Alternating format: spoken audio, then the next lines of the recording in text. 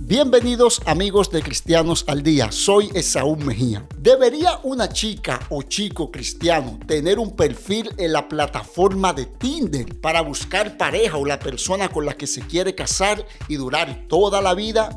En este momento la plataforma de Tinder ha sonado mucho en todo el mundo. Eso se debe a un documental que Netflix ha lanzado donde un joven se hizo pasar por un soltero apuesto y millonario, empresario y de muy buenos valores.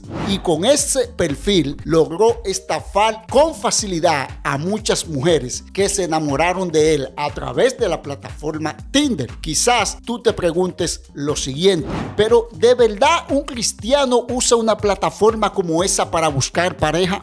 Déjame decirte que sí, hay cristianos que la usan. Incluso, algo curioso, entré a la plataforma de Tinder para investigar cómo es o ver qué es lo que atrae tanto. No me hice un perfil, pero cuando accedí a la plataforma, de una vez vi una serie de testimonios. Entre esos aparece uno de un cristiano que dice lo siguiente. Conocí a mi futura esposa en Tinder durante la cuarentena por COVID. Ella es de Lafayette, Indiana y yo de Cleveland. Somos cristianos devotos y nos enamoramos con locura. Wow, ese testimonio parece digno de una novela o de una película romántica. Ahora bien, no todos los casos son así. Muchas personas han terminado engañadas, estafadas. Parte de eso lo vimos precisamente en el documental de Netflix. Con esto en mente, ahora yo quiero responder basado en mi opinión la siguiente pregunta. ¿Puede ser Tinder una opción buena para que solteros cristianos tengan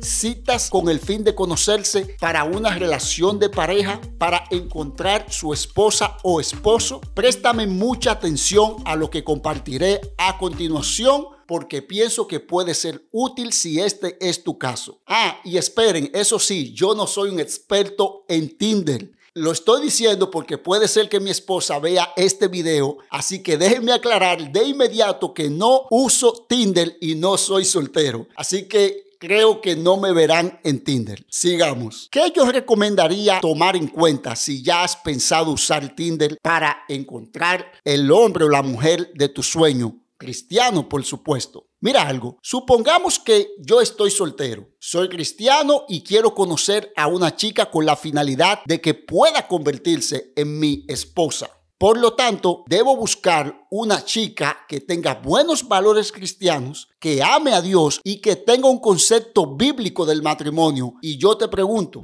¿sería una buena idea usar Tinder como una opción para buscar el amor de mi vida bajo las condiciones o requisitos que te acabo de mencionar? Siendo honesto, es posible que sí que pueda conocer a alguien así. Aquí quisiera hablarte como un hermano y amigo en la fe, no tanto como experto en Tinder porque te dije que no lo soy. En mi opinión, Tinder no sería la primera y única opción que yo usaría para buscar el amor de mi vida. Y aquí viene mi recomendación. Toma en cuenta el contexto o naturaleza de Tinder. Préstame mucha atención a este punto. ¿Por qué te estoy diciendo ese principio? Porque el diseño de Tinder es para atraer a todo tipo de personas. Aquellos que solo buscan relaciones sexuales, los que no quieren casarse sino vivir juntos, están aquellos que no les importa tener un noviazgo nuevo cada seis meses y no faltan aquellos que solo buscan relaciones fáciles o superficiales. Es más, si viste el documental de Tinder en Netflix, fíjate que dos de las chicas, su concepto de las relaciones era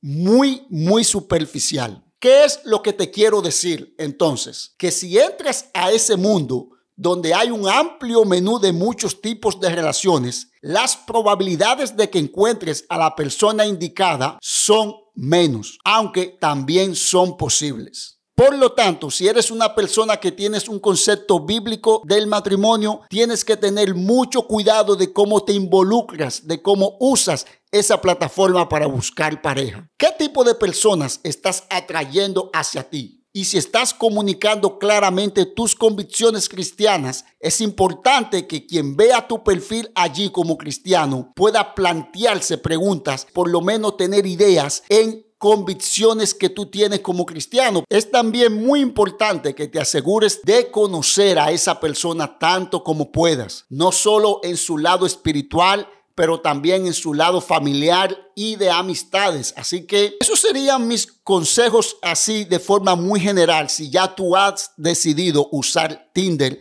para tener alguna cita o buscar pareja. Una vez más, tome en cuenta que el matrimonio es algo muy serio, que según Efesios 5 es una analogía de la relación de Cristo y su iglesia. Así que la tarea de buscar una relación en la que glorifiques a Dios es algo que debes tomarte muy en serio. Existen otras plataformas en línea específicamente donde hay personas cristianas con el fin de conocerse. Esa sería más adecuada, pero este no es un video específicamente para hablar de eso. Si te interesa que yo continúe este tema, déjamelo saber en los comentarios. Soy Esaú Mejía, te invito a suscribirte a este canal de Cristianos al Día porque estaré haciendo más contenidos como este.